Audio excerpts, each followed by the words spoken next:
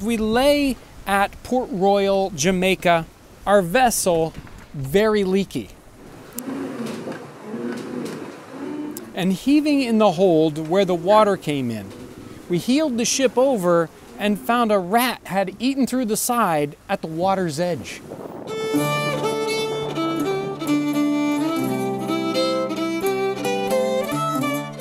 Was it not for the superintending providence, how few seamen would be spared to old age, considering the perils they go through?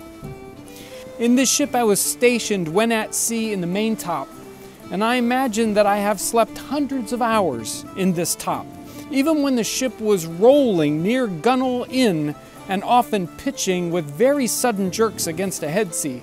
But through mercy I was never thrown out of the top and the pillow I made use of was a small box of gunpowder deposited there for the hanker-busses and the blunderbusses in case of engaging the enemy. On one passage, many of the crew were attacked with excruciating pains in their bowels, and I believe nearly half of the men were confined to their hammocks. This disease our surgeons supposed to be the effect of poison, Accordingly, the copper boilers were examined and a quantity of verdigris was discovered on the inside of the peas copper, which the cook's mate had neglected to clean. As usual. For my part, I escaped by not liking the peas soup.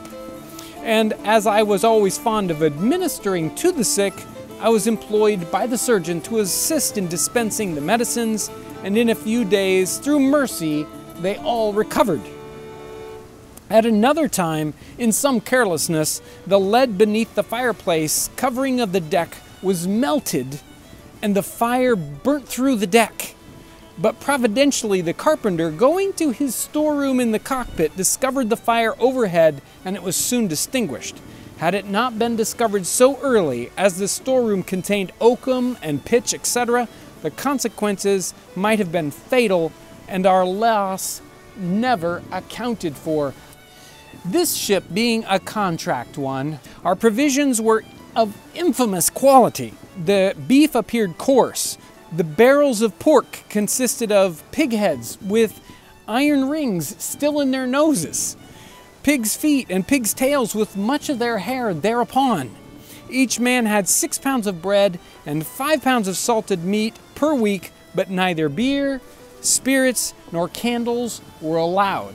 I love reading about and trying to understand the life of an 18th century sailor, nothing makes that as easy to understand as being on a tall ship, just like what they would have had in the 18th century. Uh, our experiences here on the Friends Good Will. This is the Michigan Maritime Museum, South Haven, Michigan. Uh, such wonderful folks that have hosted us here today to take pictures and do video. I love being able to walk the deck just like a sailor in the 18th century. Amazing experience if you're ever in Southwest Michigan. Make sure to check this out. And for more videos about salt pork or ship's biscuit, check these out.